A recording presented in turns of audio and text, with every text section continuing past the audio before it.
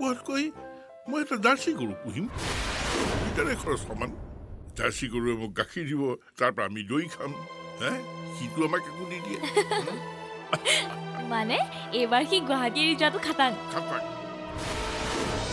স্বামী স্ত্ৰীৰ বিচ্ছেদৰ পাছত দূৰে দূৰে থাকিও নিজৰ জীৱনৰ বাটত আগুৱাই যাব পাৰে।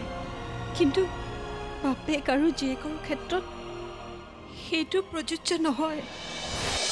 জোনাকী কাৰেং উপভোগ কৰক আজি নিশা আঠ বজাত।